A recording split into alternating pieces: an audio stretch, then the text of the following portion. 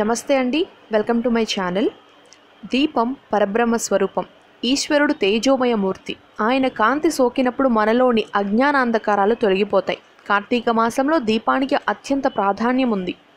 పౌర్ణమి నాడు చంద్రుడు కృతికా నక్షత్రంలో సంచరిస్తాడు కాబట్టి ఈ మాసానికి కార్తీక మాసం అనే పేరు వచ్చింది. కార్తీక మాసం మొదటి రోజున దేవాలయాల్లో ఆకాశ దీపం వెలిగించి ధ్వజస్తంభానికి తాడు కట్టి చిన్న పాత్రలో దీపం వెలిగించి పైకెత్తుతారు. దీపకాంతులు మనలోని ఆత్మజ్యోతిని ప్రకాశింపజేసి ఆధ్యాత్మిక సాధన సజావుగా సాగేలా ప్రోత్సహిస్తాయి.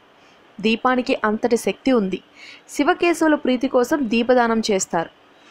నదీ ప్రవాహాల్లో అరటి దొప్పల్లో ఉంచిన దీపాలను వెలిగించి వదులుతారు. ఆలయాల్లో ఆకాశ దీపాన్ని వెలిగించడం ఆచారం. ప్రమిదలో ఒత్తులు వేసి నువ్వుల నూనె వేసి తాళ్ళు సహాయంతో దీపాలు వెలిగించడమే ఆకాశ దీపం. కార్తీక దీపాలను దేవాలయాలు మఠాలయందు సూర్యోదయానికి ముందు సాయం సంధ్యా సమయంలో వెలిగించాలి. ఇంట ముంగిట అలాగే ఇంటిలోనూ తులసి కోట వద్ద దీపాలను వెలిగించాలి.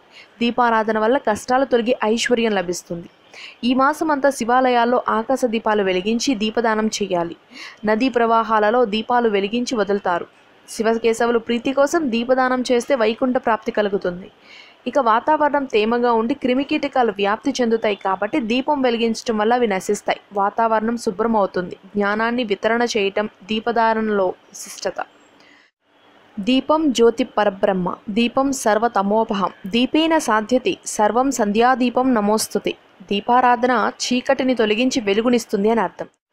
కార్తీక మాసంలో దీపం దానం చేయడం ఎంతో ఫలదాయకం. దీపాన్ని ఉసిరికాయ మీద ఉంచి దానంగా ఇవ్వాలని పురాణాలు చెప్తున్నాయి. ఈ మాసంలో ప్రతిరోజు పర్వదినమే. అయినా ప్రత్యేకమైన ఫలితాలను ఇచ్చే తిథులు కొన్ని ఉన్నాయి వాటిలో భగినీహస్త భోజనం నాగుల చవిత క్షీరాబ్ది ద్వాదశి కార్తీక పౌర్ణమి మొదలైనవి అత్యంత ప్రాముఖ్యతను కలిగినవి.